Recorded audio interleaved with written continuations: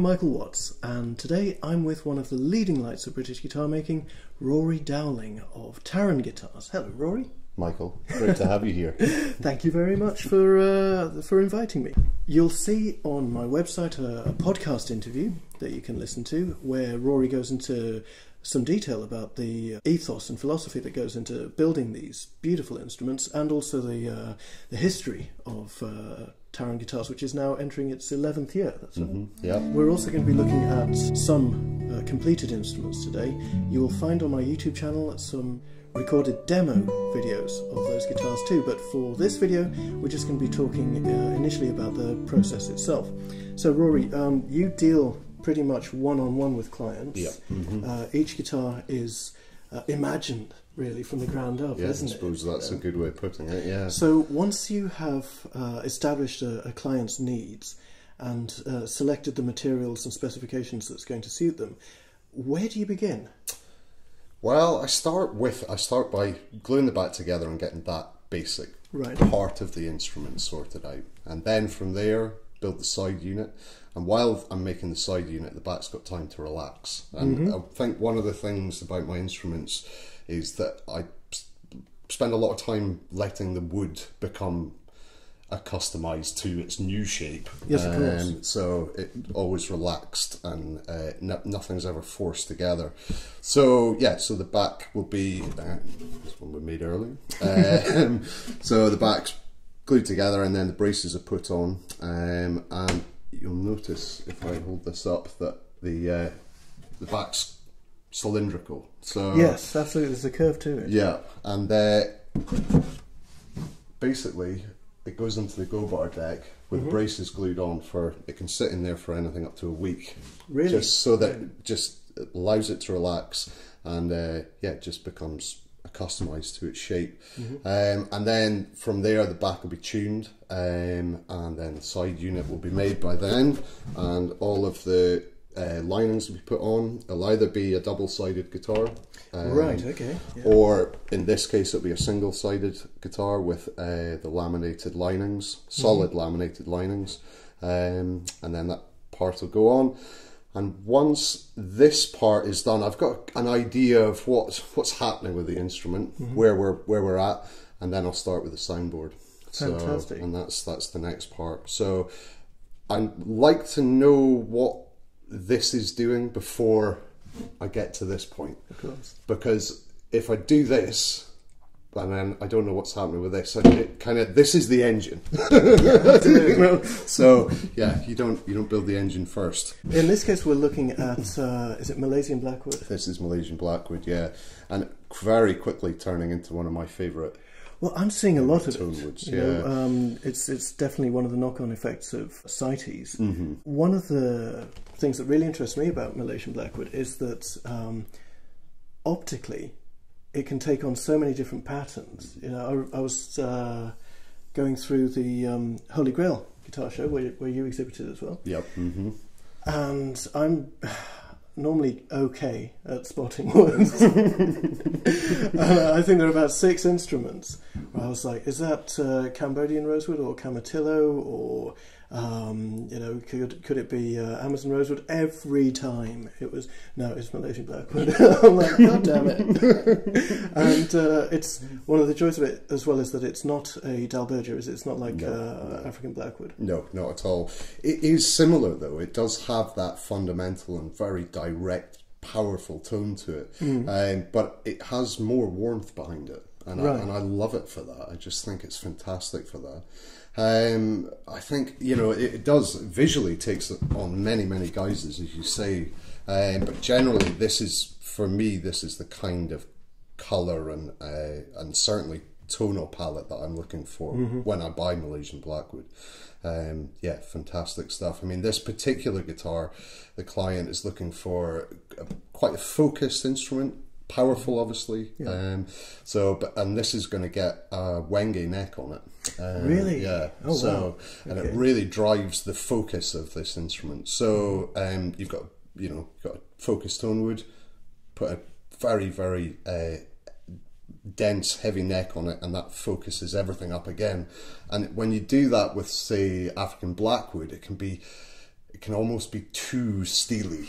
It's overpowering, isn't it? Yeah, you get so- that real glassiness Mm-hmm. to it. Whereas with the Malaysian Blackwood, you get that subtle warmth in Hmm. below it, and I love that. I really, really like it. So using this more and more. So yeah, And it does have a lot of the the visual aspects of good Brazilian, doesn't it? You've got Yeah. the, the, the sort of spider webbing a bit and then these sort of chocolate stripes to yeah, it. I mean, it is- absolutely. And it's got it's a, you know it's got a, a holographic kind of effect to It it. In fact, if you grab that one there, we'll maybe pull that one up.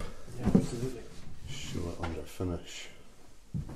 So this is a kind of sister to this guitar. So Malaysian Blackwood there, and you can yeah you can see the depth of the wood in it. Mm. It's just beautiful stuff. And then again, this has got the Wenge neck on it. This is the Tirga Beag. So mm-hmm. this is probably my most popular model. I built Right. more of these than I think anything else. And you've described this as a sort of large OM. Yeah, I would say a large OM. I don't really follow the um, the kind of Martin sizing, Sure. so they've they've kind of developed over time, and uh, yeah, this is this is the Mark II version of the uh, of the original, Mm-hmm. um, but still with the same philosophy. I want it to be quite a versatile instrument, Of course, um, yeah. so it's not. Uh, while I build for lots of different people, and I can go very much down the fingerstyle route Mm. or down the accompaniment route Yeah. this is an instrument that is very well it is an instrument that is very versatile Mm-hmm. um, for all playing styles which is why it's so popular Absolutely. so And it's a very powerful guitar, isn't it? It's, it's got a 16 inch lower bout, and Mm-hmm. um, I've played both the, the sort of the fingerstyle version, as you put it, yeah and yeah. the the real sort of plectrum uh, driven juggernaut, and, and it's incredible just how uh, how different the personalities are. You've got the same model and sometimes the same woods. yeah yeah absolutely. And yet, uh, so you've pulled so much out of the bracing and, and the voicing of the instrument. It, it really is. Uh, it's amazing to see just how, how much versatility you can get out of the same bars. Mhm. This is a soundboard. Uh, it's very much in the rough at the moment, um, Mm-hmm. but the process thus far with this is just gonna put this up here. Is so. Obviously. This is a piece of European, um, and I think believe this is Swiss. Uh, and so glued together and then thickness down to oh, about 3.2 millimeters uh, and then what I'll do from that point is cut the shape um, and then I'll, I'll hand tune it from there before the sound hole goes in before anything else Right, happens I'll. I'll thickness the top um, and listen to to what's happening and give it the the basic uh, response that I'm looking Mm-hmm. for in the top. And this is Swiss moon spruce, isn't it? Yes, You've yeah. been using that quite a lot recently. Yeah, I've discovered I used a, a lot of Italian spruce, and I love that for the power. Um, but I, and then I used a lot of German, and I love the warmth in that. and I found the Swiss kind of It's got a bit of both. bit, bit, bit of both. So I, yeah, absolutely love it. Oh, it's, it's worth pointing out that that's actually the same genus of spruce. They're just grown in different conditions. So this bracing pattern Mm-hmm. that we've got here, Rory, I'd say this was a sort of a a fan. Yeah, you know, I've got four different bracing patterns, and I've also got uh, four different curvatures that I use, and mix them all together Right. to create what it is that the client's after. Uh, particular client, Chris, for this, he's looking for something with a very, very strong bass end. Uh, Right. bottom end to it, um, so the fan ultimately sense, allows you know allows for a more open bottom end, Mm-hmm. um, but then excuse me, there's tuning on the plate before the braces go on Hmm. that allow for the treble frequencies to be full and rich as well. I think one of the things as well is the the response level that I like to work with with people, you know. And I suppose you heard that in um, from the Malaysian Blackwood Tirga Beag to this uh, Maple Taran.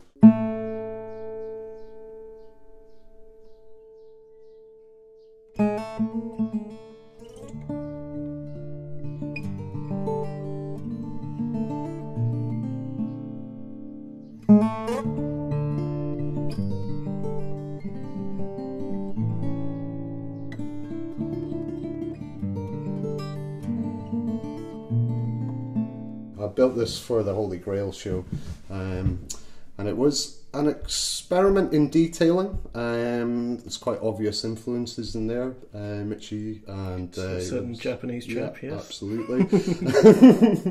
Some little nods in that direction. Yes, So- And um, but one of the key factors to this instrument is the back, and the, the major development of this is the is the back. Um, we through working with rosewoods and various other materials that are much denser and harder, you, you get an instrument that is it's got there's a richness to it. There's a ring, a liveliness to the back. Whereas with a maple instrument, it can be lacking. So oh, absolutely. a tap tone. You'd expect it to be fairly cardboardy. yeah, absolutely. So, but with this, I increased the radius of the back, um, but made it very, very light. Um, so it almost tightened it, but it gave it a ring, and there's a, a richness and a power that you get from that. So, and I think it's well, you've let you decide, but I think it comes through. Oh yes, and I'm seeing here a, a very beautiful take, a very subtle uh, forearm chamfer. Here. Yeah, I just, uh, just, I love small details, things that you wouldn't really pick up until you hold something and Absolutely, feel it. So, because I've found with a lot of the uh, the larger bevels, yes, there is um, a certain amount of, of comfort gained here in the in the shoulder, and, and certainly on the on the forearm. Mhm. But it's often difficult to uh, keep hold of the instrument. You know, it can it can sort of squirt away from you, especially if there's uh, a rib bevel as well. Then it's Yeah, like a rugby yeah. ball, Mhm, and I'm there trying to you know clamp it. Ninety percent of what I'm doing on stage is clamping the thing in place. It And doesn't then really give you and great freedom. there's not a lot left. Now, next up, here's this. We have another Taran, don't we? Another Taran, but again, another Taran, but very different again. Mm. Um, so this is uh, Madagascan rosewood. Oh, we've got Uh, some Mad Rose here in its yeah. natural state, haven't we? do. So this Taran is uh, it's quite very different from this, Mm. as you know, um, and um, it's not a rosewood that I've worked with a huge amount. Um, however, in a smaller instrument, I just absolutely love it. Mm. There's a glassiness that I really, really enjoy, um, and yeah, beautiful stuff to work with. I've had this particular set in the workshop for oh, jinx, about five or six years. Must be looking Oh, forward to absolutely. And- on the run up to the Berlin show, I was sorting wood out in the uh, wood shop, and basically I came across it, and I literally was in here at eleven at night while I had all this other work on, gluing this thing together because I just couldn't resist any longer. Now, this guitar has a very different character. Uh, it's a lot more um, bluesy and uh, and snappy than the than the maple version. And in fact, for the uh, for the video uh, demo, we actually strung this guitar with um, non-coated D'Addario strings as opposed to the elixirs that I usually use.